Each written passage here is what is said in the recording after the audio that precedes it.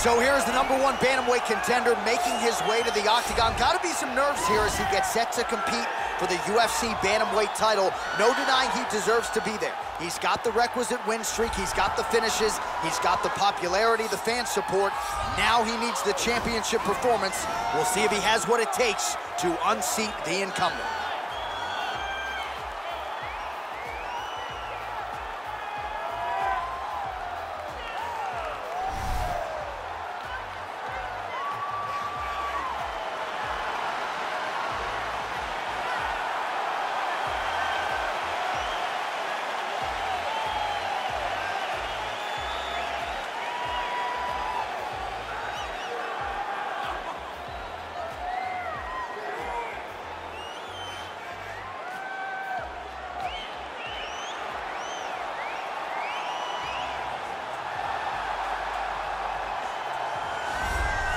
All right, so here he is, the consensus number one bantamweight in the world, the UFC's reigning, defending, undisputed UFC bantamweight champion, and he's looking to make the walk out of the octagon with all of those same titles. He wants to be mentioned with some of this division's greats, all-time types.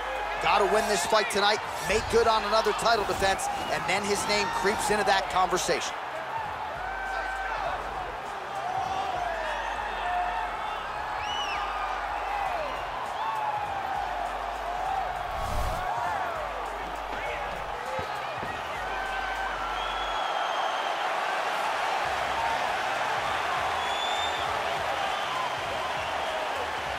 Our of the tape for this, our main event of the evening. So a more than five-year gap between these two fighters when it comes to the age, with some differences in height and a similar reach. All right, now to get us started, here is Bruce Buffer.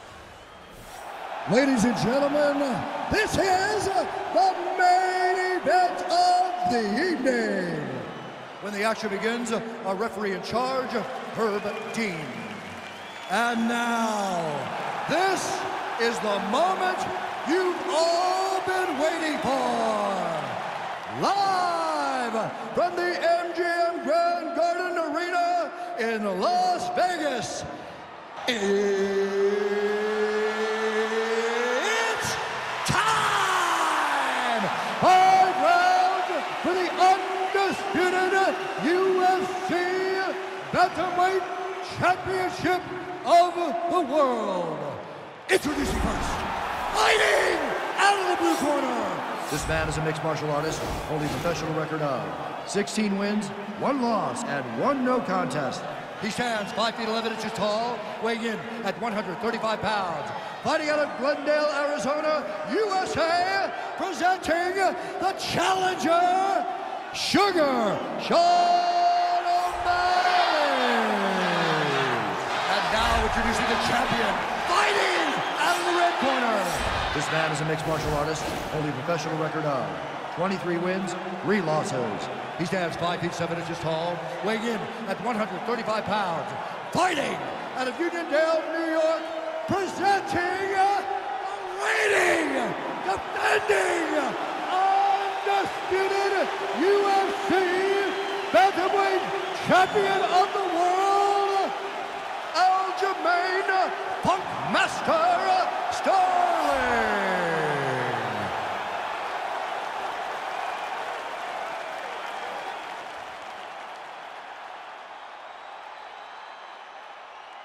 all right, is for the championship. You've been given your instructions in the dressing room. Protect yourself at all times. Follow my instructions. We will have a clean fight. Touch gloves, let's make it official. And with that touch of the gloves, we are underway.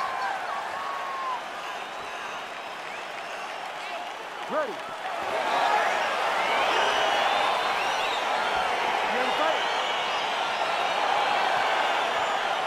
Well, these guys have been on each other's radars for quite some time. Tonight, it shall be done. Both guys well-rounded. You think we're getting a kickboxing match tonight or what? You just don't know, right? You don't know who's going to be able to employ their strategy the way that they need to.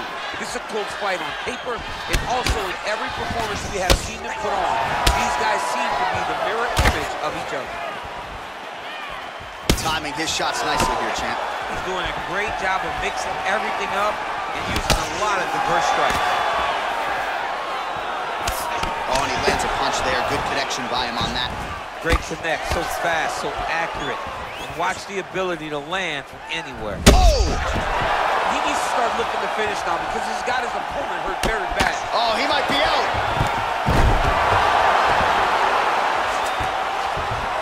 Sterling's has got full mount now. All right, so he postures up here and now figures to rain down some ground strikes. Yeah, the ground and pound will be a plenty from this position. Right under the elbow, body kick. Well, that kick landed the body beautifully placed right underneath that elbow. Let's see if he makes the adjustments now defensively to avoid opening up that midsection to further damage by that kick. Man, he's just got a great feel for the striking realm early in this one. The timing is on point. He's doing a great job of mixing everything up. Nice punch by Sean O'Malley.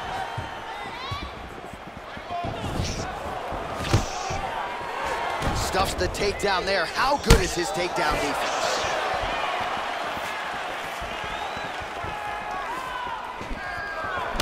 O'Malley's hook shot gets blocked. The defense saw that one coming.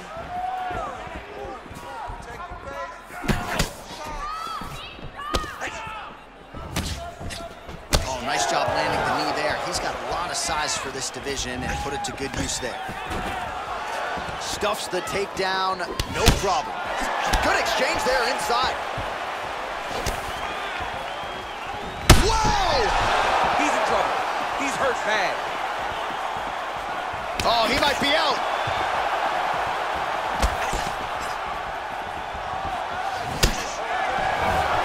Look at that whip action that comes from him throwing that kick.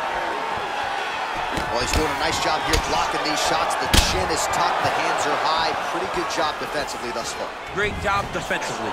He's seeing everything coming. So we cross the 30-second mark in our opening round. Oh, damaging knee to the head. Final seconds of round one. He blocked How about those five minutes?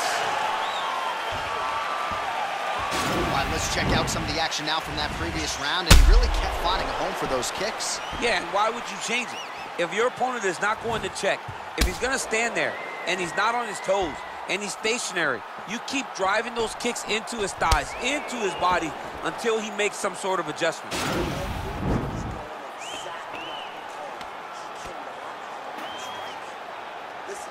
Right, here we go with our next round, and really shades of the Diaz brothers in that previous round. A lot of volume, a lot of accuracy, just a lot of efficiency on the field. Very, very efficient. Good round in the sense that he did not throw everything with absolute power, but he was touching the entire time. Then every now and again, he would set down on a strike that was really damaging his opponent. Trying to establish that jab once again. Oh!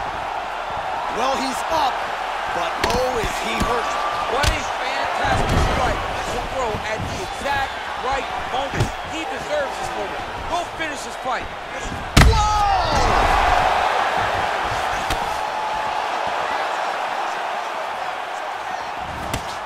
Oh, straight right. Holding on to him here, not really doing too much, perhaps just looking to recover. And they separate. Whoa! Oh, big diving punch is good. Stu's hurt. Serve him up. Go get him. Back to the feet. Now the guy's got armbar. He's attacking it on him.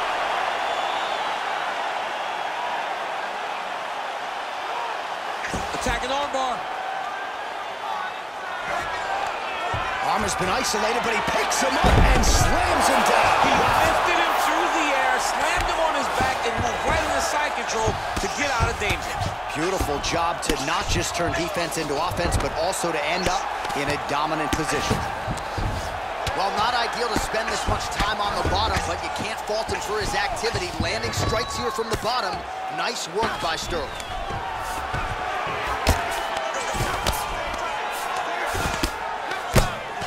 Oh, the ground and pound strikes continue to rain down. The opponent better move out of harm's way or the referee's going to stop this. He better start to move, and when his opponent starts to posture, he needs to put his feet on the hip, push him away to try to escape this very, very dangerous position.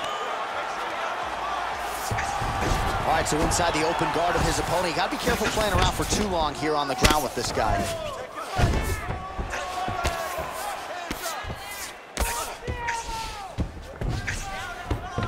Side control now.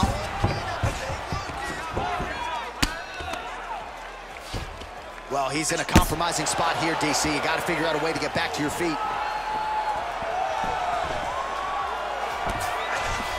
All right, has the guard closed here. Well, you got to stay busy on the bottom. He's doing it here. Nice punch.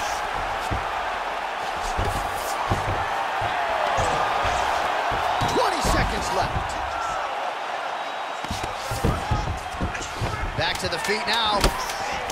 Big punch lands over the top. How's he gonna follow this one? And that's the end of round number two. All right, so a huge round for him there. Nearly had him out of there with the head kick. Did get the knockdown. Talk us through the replay. He got the knockdown. He won the round. He did everything correct. The only thing he didn't do is finish the fight. But if he continues down the path, if he continues to do the exact same thing as he did before, he will get that finish.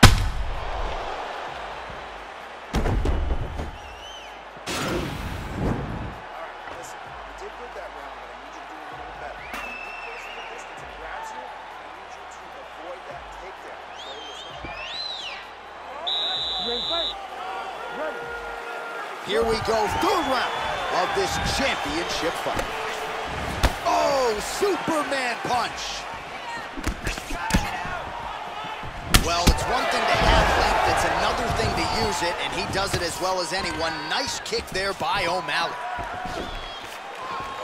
Starting to do some really significant damage to the... Oh! Huge right hand! Oh, he's hurt bad. He's hurt bad, John. He's got to press him. He's got to go chase that finish down now. Look at him drive his shin into his opponent's body with that body kick. You wonder if the offensive fighter is going to start to get frustrated here. Most, if not all, of these shots are getting blocked. They're getting blocked because he's fighting one of the best defensive fighters in the UFC. Ooh, what a punch. Oh! He needs to start looking to finish now because he's got his opponent hurt very bad. Aljamain Sterling pouring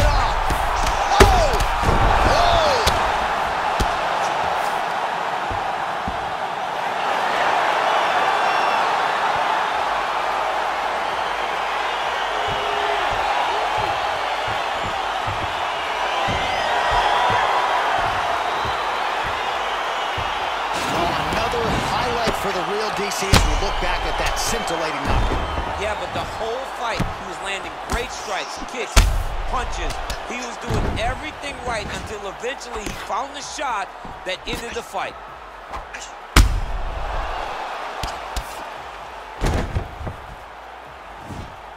Now we go inside the octagon. Bruce Buffer with the official decision. Ladies and gentlemen, referee Herb Dean has called a stop to this contest at 1 minute 36 seconds of round number three. Declaring the winner by